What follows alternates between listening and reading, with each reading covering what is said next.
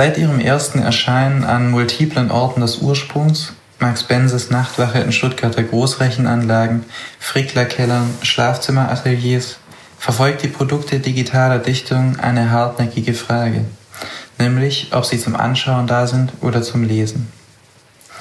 Ihrer Herkunft aus der Konzeptkunst entsprechend rekodieren viele Arbeiten, die heute mit diesem Label getaggt werden, Textmaterial auf eine Weise, dass am Ende ein Fuck You Close Reading dabei rauskommt. Nick Thurstons Vom Unterauftrag ist kein solches Buch. Man sollte es lesen, auch wenn die Lektüreerfahrung sich mit der herkömmlicher Dichtung eher nicht vergleichen lässt. Die Kollektivsubjektivität, die sich in den darin versammelten Texten ausdrückt, ist die einer global verstreuten, anonymen Workforce des Amazon-Dienstes Mechanical Turk, im folgenden AMT einer Plattform, auf dem AuftraggeberInnen AuftragnehmerInnen anheuern können, um kleine Text- und IT-Aufgaben zu erledigen, die keine weitere Eigenschaft miteinander teilen als die, dass sie allein von maschinischer Intelligenz noch nicht geleistet werden können. Amazon nennt die angebotene Ware eine Artificial Artificial Intelligence. Vom Unterauftrag besteht aus 100 Gedichten, die Thurston für Centbeträge von AMC-MitarbeiterInnen hat verfassen lassen. Die deutschsprachige Version ist das durch Google Translate gejagte, unkorrigierte Ergebnis. Liest man von 1 bis 100, wird man mit einer erstaunlichen stilistischen Heterogenität konfrontiert, wenn auch eine starke bildliche Dominanz der Variablen Paarbeziehung, sentimentale Introspektion, Natur zu konstatieren ist. Ebenso wiederkehrend, äh, für mich noch wichtiger, ist aber die Heimsuchung der Sprachen des Unterauftrags durch dessen Produktionsprozess. So meldet sich immer wieder die erfolgssichere Stimme des unternehmerischen Selbst zu Wort, die Translate auch ganz gut hinbekommt. Meine Leidenschaft ist das Geschäft, mein Titel ist Unternehmer.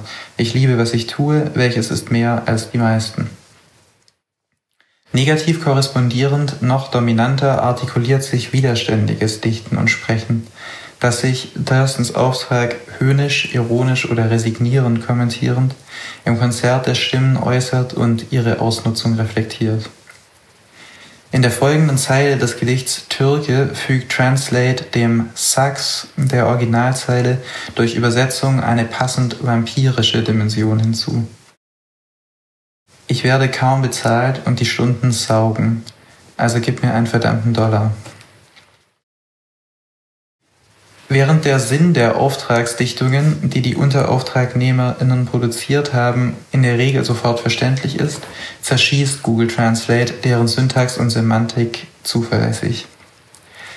Zu einem schönen Effekt dieses Prozesses möchte ich mit Verweis auf die erfreuliche Zerrung einiger Tropen zu sprechen kommen, die die Übersetzung eines titellosen Textes zum Preis 70 Cent ergibt.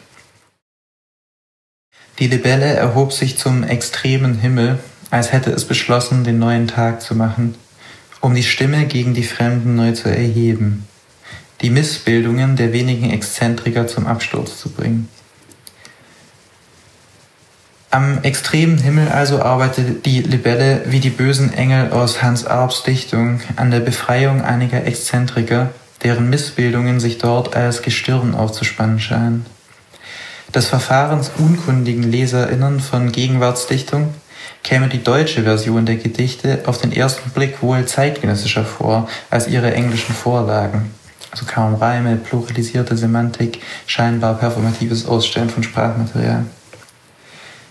Ein daran geschultes Lesen allerdings liefe ins Leere, denn es ist hier kein zigfach kodierter Sinn versteckt, den eine findige Hermeneutik entschlüsseln könnte.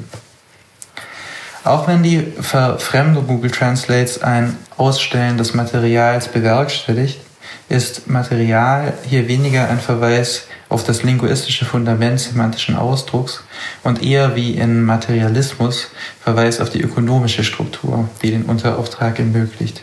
Die Abhängigkeit des Textes von einer zutiefst ungerechten globalen Arbeitsteilung reflektiert Translate mit einer Übersetzung, mit seiner Übersetzung von ein Gedicht, das du nicht geschrieben hast.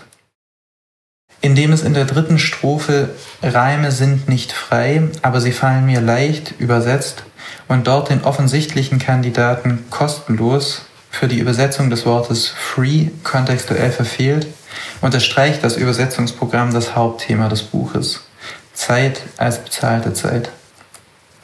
In zweifacher Hinsicht wird Thurston et al.'s Buch damit zu einer Form der Post-Internet-Poetry, ohne dabei einen ästhetischen Schwerpunkt auf ein neues iOS-Interface oder Emoji-Alphabet zu legen.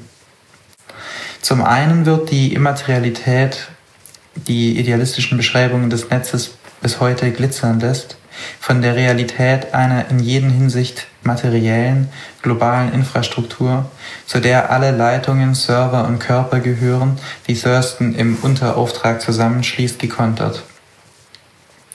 Das widerwärtige Amazon-Wort einer Artificial Artificial Intelligence ist zum anderen Hinweis auf die verborgene Vorbedingung des vom Anbieter als ubiquitär verfügbar, flexibel abrufbar beworbenen Produkts nämlich der Präsenz und Arbeitskraft der ausgebeuteten AMT-Angestellten. Durch die nervöse und repetitive Vielstimmigkeit jener dichtenden ArbeiterInnen sowie die konsequente Durchführung der Thurstonschen Konzeptmethode zu solcher Art Reflexion über die Existenzbedingungen des Gelesenen gebracht zu werden, ist das, was am besten funktioniert, an vom Unterauftrag. Die Arbeit ist allerdings nicht die erste, die die schmerzhafte Erfahrung der Implikation ihrer Rezipientinnen in die letzte Version eines zerstörerischen digitalen Kapitalismus durch eine künstlerische Appropriation von AMT thematisiert. Vielmehr sind solche Verfahren, wie Darren Wörschler im Nachwort richtig bemerkt, mittlerweile zu einer Kompositionsübung konzeptuellen Schreibens geworden, die genauso schnell äh, gecrowdfundet wie abgenickt wird. Auch wenn einige der AutorInnen des Textes und nicht zuletzt dessen Remix-Übersetzung schon affektive Störfeuer und berührende Mikropoesien produzieren, ist die gesamte Arbeit noch stark von der formalistischen Konzept-Lit-Geste einer steuernden, distanzbehauptenden Autorenposition geprägt. Inwiefern wäre Thurstons Verfahren in ein postkonzeptuelles Feld zu überführen, in dem die Sauberkeit der Geste schmutzig, die behauptete Distanz minimiert wäre? Könnte es einen kontrollierten Schritt mehr in Richtung des Potenzials bedeuten, das die Kontingenzlibelle unter den extremen Himmel malt?